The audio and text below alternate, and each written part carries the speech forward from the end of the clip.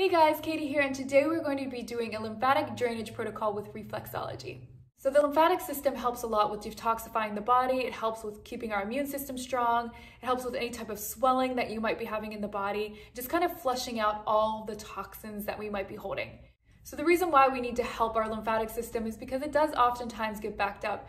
It is something that does not have a pump like our blood that runs through our body. It does need us to move and do different things in order for it to continue to be in motion. So some reasons why the lymphatic system can get backed up would be things like if you're someone who's stationary a lot, so if you don't have a lot of movement to keep that lymphatic system going, um, poor diet, if you're on a whole bunch of different type of medications that can sometimes back it up, but basically poor lifestyle, not a lot of movements can cause that, that lymphatic system to really stop or become very stagnant.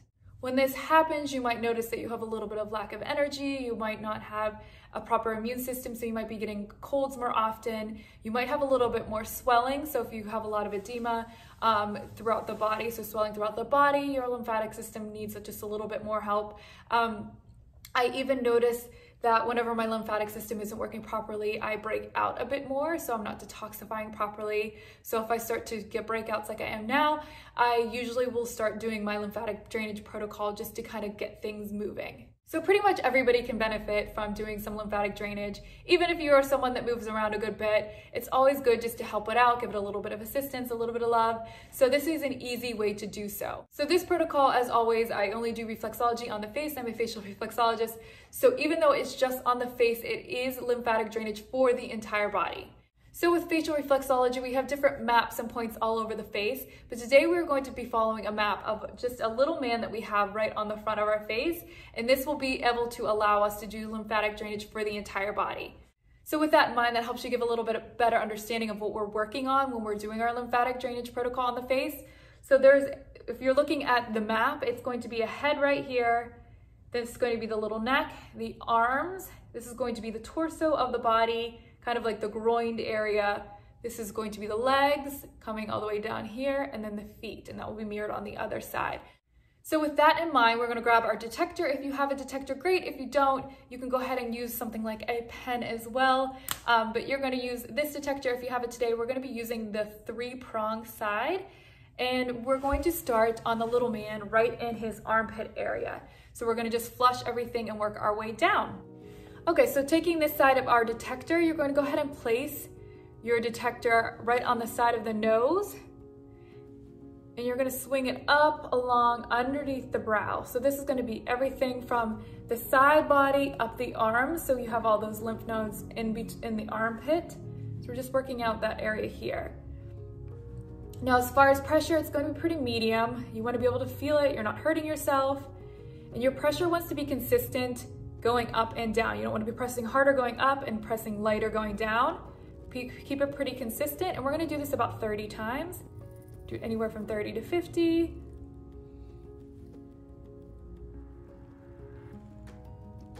And you're gonna do the same thing on the other side.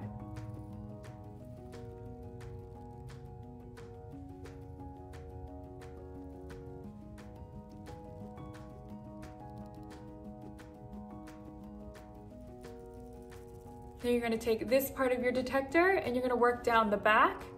So again, 30 to 50 times, going up and down, same amount of pressure. You might notice that your sinuses start to open a good bit.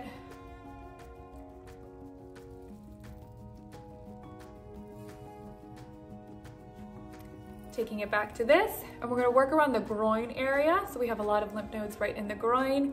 So this is just gonna be around the nostril. So go ahead and take it on the side of the nose and just working back and forth.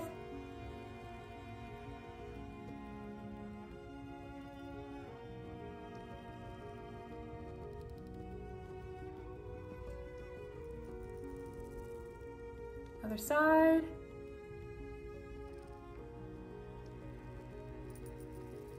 And I'm not counting here, so I'm just ballparking it as usual. And then we're going to work down the legs. So this is going to be kind of like the upper thighs. And again, consistency, just pressure up and down. Now this can be done if you are battling any type of swelling. So perhaps you were flying somewhere or um, you're pregnant and you're just having some swelling. Um, you can do this a couple times throughout the day. If you're battling some acne, I would do this a couple times throughout the day. So whatever you're working on, best to do this protocol a couple times a day. If you're just wanting to do it for maintenance reasons, I would just do it once a day if you can, right before you do like your normal reflexology protocol, because I know you guys all do this pretty consistently. So now we're doing the lower part of the body, or the lower part of the leg, so this is gonna be like the calf area.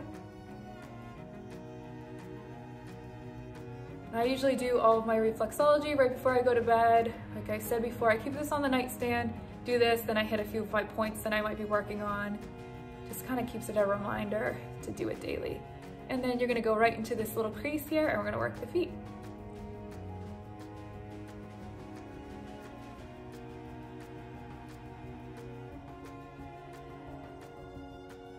Okay, now we're gonna just work around the ears so we're just gonna go down and all the way up.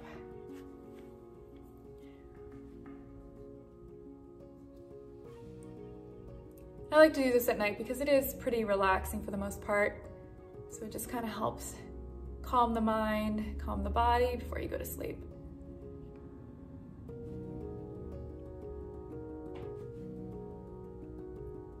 You can do that as many times as you can. It's a little bit more tricky to do up and down I would do that about 20 to 30 times. Take the video, I'm not, and back around this side as well.